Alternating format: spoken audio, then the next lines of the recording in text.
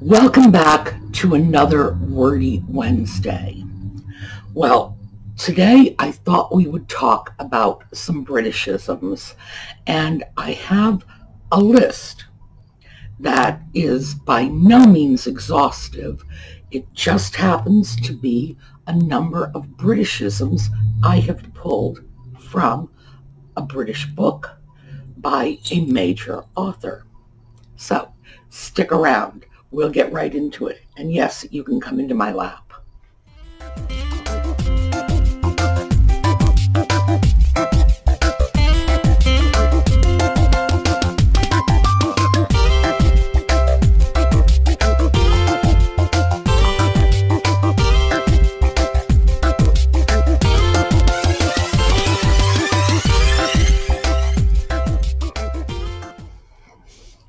Well, as a lot of you may know, because when I was feeling under the weather, yes, as a result of the flu shot, it wasn't awful because the latest Robert Galbraith book came out.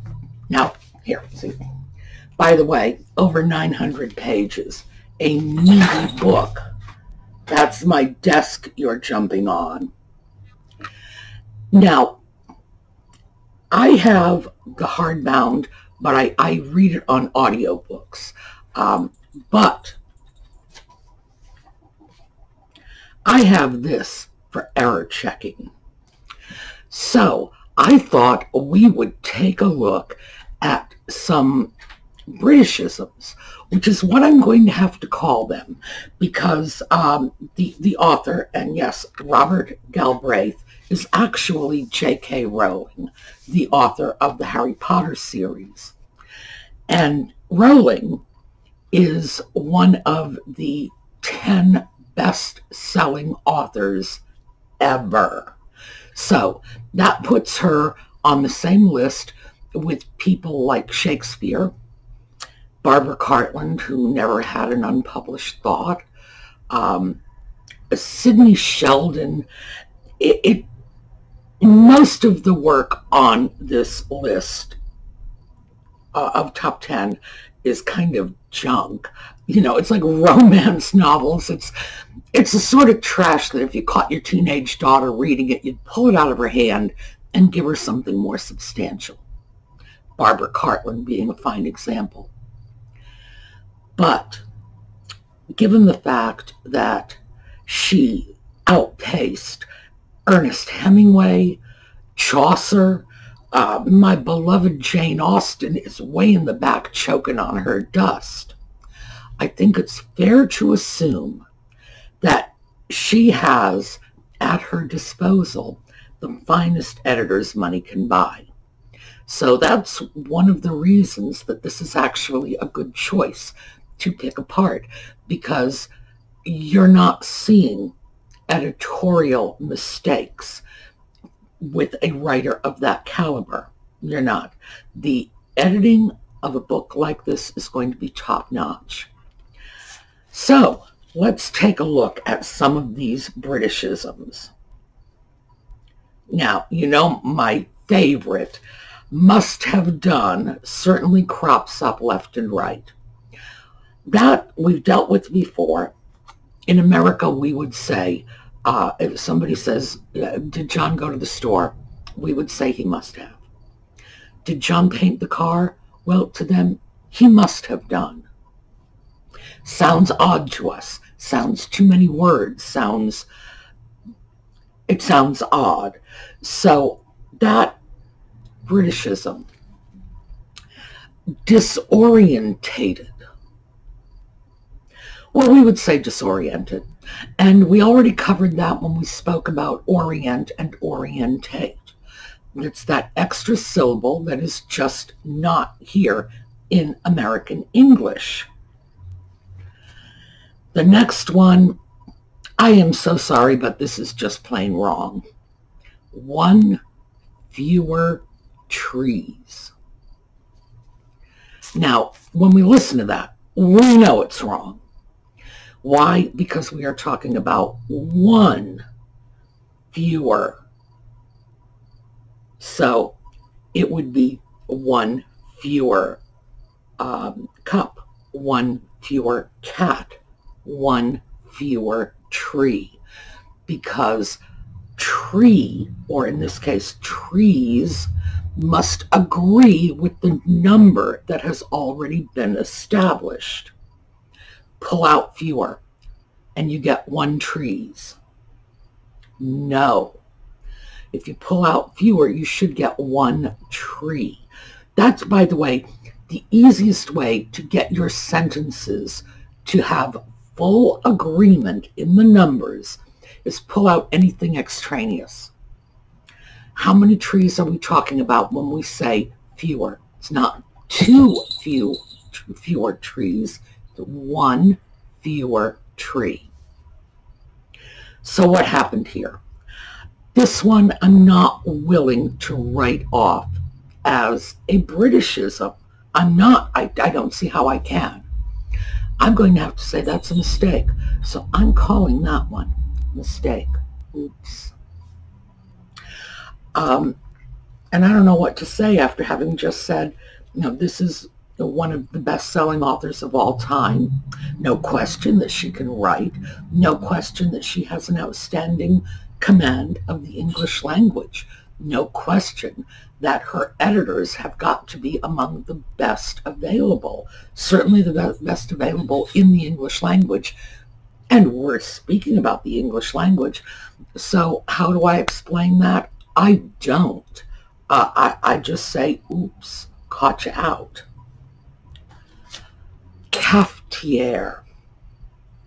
That is a word that is used rather often in this book. And I actually had to look it up. I, I knew it had something to do with coffee. A cafetiere is a French press. Um, I have a French press. I'll show you a picture of a French press probably won't be mine. I'll probably just go online and grab one. But that's all it is. It's a French press. It sounds much more snooty and elegant when you say cafetiere, though, doesn't it? So I'm going to say that one is Britishism.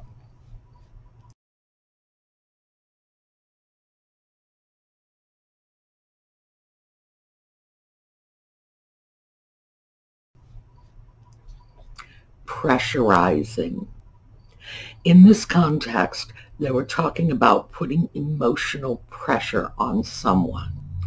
And instead of, as we would say, pressuring, pressurizing, it's like disorientating and must have done that little bit extra that they just seem determined to throw in there that sounds very odd to our ears if someone said to me, John is pressurizing Mary, I would have this notion of Mary coming up in a bathysphere and, and having to be decompressed so she didn't get the bends.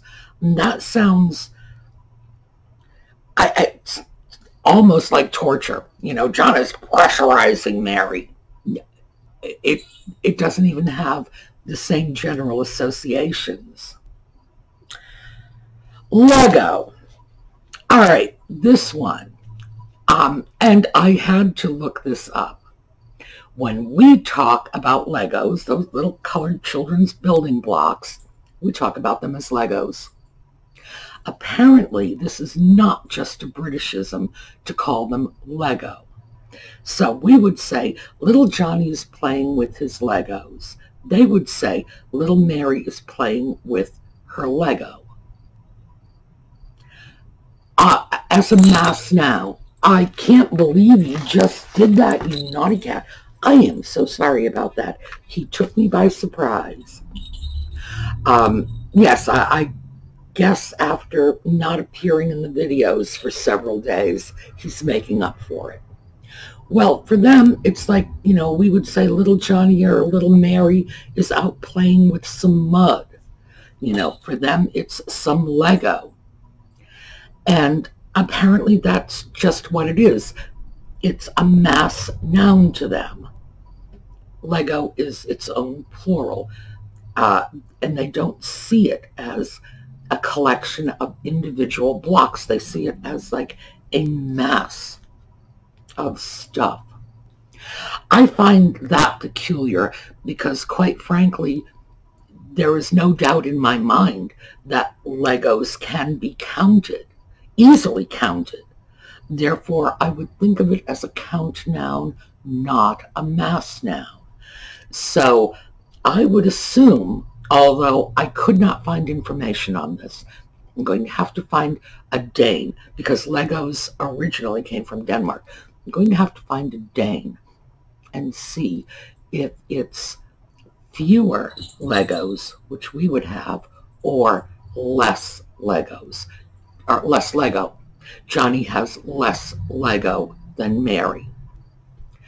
Sounds so bizarre to us, but I swear that's how they do it. So that we have to write off as a Britishism. As per usual, again, we have this extra word. John went to the store as per usual. John went to the store as usual. Per is just a, Latin word that means by. So I'm not even sure how that makes sense.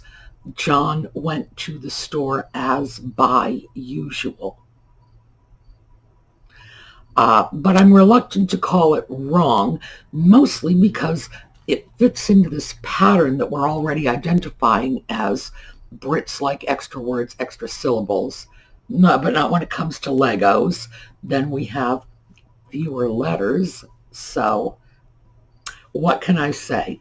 As per usual sounds wrong to me.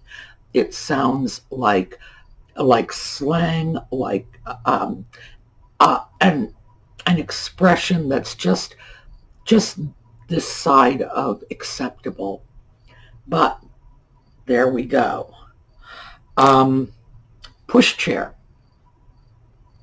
Now, I would have thought of a pushchair as something along the lines of one of those old-fashioned wheelchairs that cannot be operated by the person sitting in it and has to be pushed. Or maybe even, you know, uh, um, like those big old wicker conveyances they used to shove the elderly here and there in. Baby stroller, pushchair, baby stroller. I don't know. I know which one sounds normal to me. Alice Band. Now this is cute because I, I'm familiar with this one. It's a headband, just a girl's headband. And ordinarily, an Alice band refers to those hard plastic headbands that people my age remember from the 50s and early 60s. Um, and it comes from Alice in Wonderland. So we know that, that in the original illustrations from the book, Alice was always shown wearing a headband. So the British Alice band, to us, headband. So that is just a Britishism. Half 11. All right. Now, I know a lot of you are thinking five and a half. Huh? That means half past 11, 11.30, half 11. Now, I'm going to say that is either a Britishism or a British regionalism. And the reason for that is we have the same thing in the U.S. Um, if you want to refer to the time, 1145, some people will say a quarter to noon. Some people will say a quarter till noon, a quarter of noon, or just quarter of noon, quarter to noon. So, but, and that tends to be regional. In some parts of the country, some of those are a little more common. Quarter till is something you hear in the Northeast. Uh, quarter of, you are inclined to hear a little more in the South. But because we are homogenized by things like national news, where we have the newscasters every night, Hollywood television in general. Our American quarter of, quarter to, quarter tills tend to spread. So something that might have begun as a New England expression quickly filters through to the rest of the country, as do uh, the others, uh, quarter of, quarter to. So I'm going to say half 11 is probably a Britishism, but if I had to bet, it's, I bet that it was regional, that in some parts of England that's more common than others. Chemist. A chemist is a druggist. Going to the chemist's shop is going to the drugstore. This is one that I have always known because uh, my grandfather was a chemist. Um, and the term was used in the United States. He was a pharmacist, but back in the days when, and you know, this was long ago, back in the days when, you know, my grandfather would have been doing his thing in the pharmacy or the chemist's shop, he would have been known as a chemist. So for us, it's an antique term and it has been replaced by pharmacist. For them, it is still used. Kitchen roll. Oh my. That is paper towels. That was one that actually just, I, I, I understood from the context what it was right away. Grab the kitchen roll, but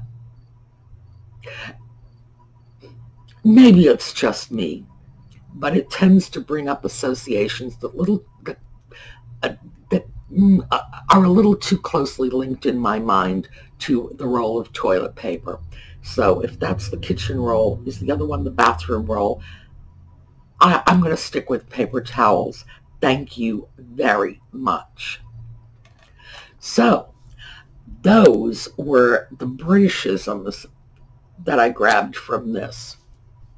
But while we are on the subject of Britishisms, uh, I see this a lot with people, especially people who are Anglophiles, and they they will uh, pronounce words the way the British do, schedule instead of schedule, or amongst instead of among, and personally, just between you and me, I find that very affected and very pretentious.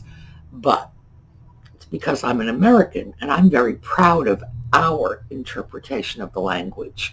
Uh, we have not taken their language and bastardized or abused it. No, we have enhanced it. Thank you very much. And there's no reason for us to hang our heads as if we are the country cousins because we have not been the country cousins since World War II Thank you very much. But enough of my chauvinism. That's not how you convince someone that you're actually British. We started off with, uh, was it the second or third, uh, one fewer trees. Well, going back to that. The British have this unusual tendency, unusual for us, to look at certain words that to us are singular, even though they may describe a group, and they will look at them as plural. Now, I'll give you some examples so you understand what I mean. Family. I would say my family was in Toronto last year they would say my family were in Toronto. For them, it's plural. Uh, the staff was upset over the last meeting. For them, the staff were upset over the last meeting. Rowling, the Harry Potter books. Gryffindor were excited that they won. Yeah, the Quidditch match. That and, and things like that, that different way of thinking about words and concepts. That's how you convince people you really are British. It's not because you've adopted a few foolish pronunciations or some vagaries of spelling. Um, ask a Brit how to spell Chumley sometime. You want to see vague spelling. Whoa, my goodness. So, I find that very, very interesting. But those are the things that separate the men from the boys, so to speak. Do you think of family as a plural? You know, is your family, uh, do you speak of your family as a group or as a collection? And see, for them, it's plural. You know, it's as if they were talking about multiple families. For us, if I were going to say family and were in the same sentence, I would be saying uh, my family, the neighbor's family, and you know my brother-in-law's family were all in Toronto last year because for me, family is a singular noun. Yes, it describes a group of people, but family itself is singular, as is staff, uh, as is, uh, trying to think of what, a Gryffindor, a singular word. So that's how you end up catching these people out. But as I say, I, I consider it a foolish affectation. There is a YouTuber um, who is, I think, a cosplayer. Um, I occasionally tune into her videos uh, because they're sewing videos. And whenever I look at it, I think, oh, good heavens, child, can you not be proud of where you come from? Why do you defer to the British to such an extent? You know, you're American be proud of it. Don't be adopting their customs and speech patterns because it seems foolish and affected. So, anyway, that's where we are at. Now, I recently got a couple of questions from uh, from viewers, and they wanted to talk about books. So, what I want to hear from all of my word nerds in the comments is, do you want me to start up a special video? This would not be part of the regular lineup.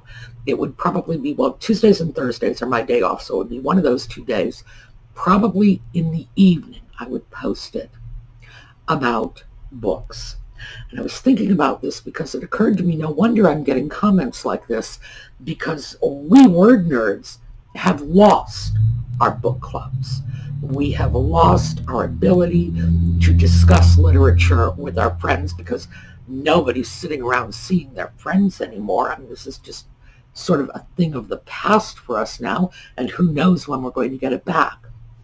So, do you want to start a book club? We can do it. We can do it on YouTube, just like this. We can start a virtual book club. Um, I'm not sure exactly how the mechanics would work. I think we'd work that out as we go along. Um, but I think it obviously came from the fact that, yes, I have a new book. I'm so thrilled. I waited two years for this. I'm so thrilled. I'm glad it's big, but I've already read it. So, you know, that's the worst of it. When I'm through, I think to myself, I got to wait another two years. Oh, so unfair you know, Rowling really needs to get off her butt and start writing those a little faster. On the other hand, that's almost a thousand pages. Who would expect someone to do that in three months? Well, I would. I want her to do it in three months. You know, it's a foolish expectation, but it's what I want. But we can do this if that's something you like. So give us some thought. Let me know.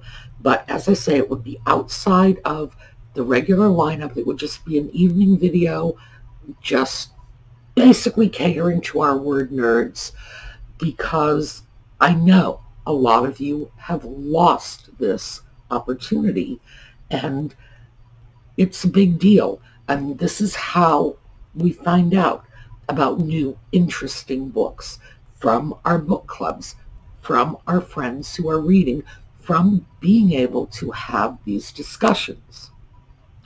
If you want it, let me know in the comments. So, a little bit of final business. My email is working. Yay! It only took 12 days. Unfortunately, I have lost most of those 12 days worth of emails. They have gone off into cyberspace and gotten lost there. I will probably never get them back. They're just gone. But we're back up and running now. So um, I'm not even really sure how this happened. In other words, it would be nice to know how the errors took place, um, what really went wrong. I think it was with my previous domain host when they switched over to a different email system. I think they sort of lost, yes, but your tail was in my face, lost much of my email. You know, you would think that you wouldn't be able to lose email as easily as you could lose a spare sock. But apparently they did it. So that is the good news. Email is back. Hallelujah. All right. Now, for those of you who have not already gone over to check out our crazy little critters, please go check it out. The little slideshow that I showed of her items is just a small portion, a small portion of what she has. She's got some gorgeous stuff. And the prize is a $50 gift certificate to her shop, which means if you win, some of that gorgeous stuff could be yours. So if you haven't already checked it out, go check it out. All right. Yeah, I know. Yep. Yeah, somebody's spoiled. All right. So I will not see you tomorrow, but I will see Friday. We are taking our trip to Lutz Antiques, by the way. So, uh, and that was something that we brought up in previous video. Uh, so we're going to go knock around an antique furniture shop. That will be on Saturday because I'm going to Lutz on Friday. So I don't know what I have for you Friday. We'll, we'll find something. All right. In the meantime, have a great couple of days, and I will see you on Friday.